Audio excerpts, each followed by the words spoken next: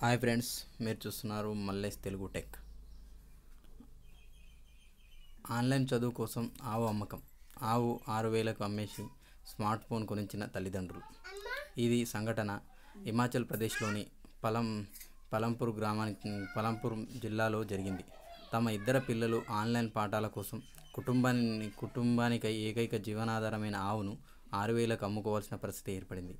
జ్వాలాముఖిలోని గుమ్మర్ గ్రామానికి చెందిన కుల్దీప్ కుమారుడు కుల్దీప్ పిల్లలు అన్న అన్యో నాలుగో తరగతి డిప్పు రెండో తరగతి చదువుతున్నారు. మార్చ్ లాక్డౌన్ ప్రకటించడంతో పాఠశాలలు మూతపడ్డాయి. ఆన్లైన్లో తరగతులు ప్రారంభమయ్యాయి. చదువు కొనసాగించాలంటే స్మార్ట్ ఫోన్ కొనుగోలు చేయాల్సిందేనని కుల్దీప్పై స్కూల్ యజమాని ఒత్తిడి చేసింది. ఎవరు రుణం ఇచ్చేందుకు ముందుకు రాకపోవడంతో విసిగిపోయిన కుల్దీప్ తన బిడ్డల చదువు కోసం తన ఏకైక జీవనాధారమైన ఆవును ఆరు వేల రూపాయలకు అమ్ముకొని పిల్లలకు స్మార్ట్ ఫోన్ కొనిచ్చాడు.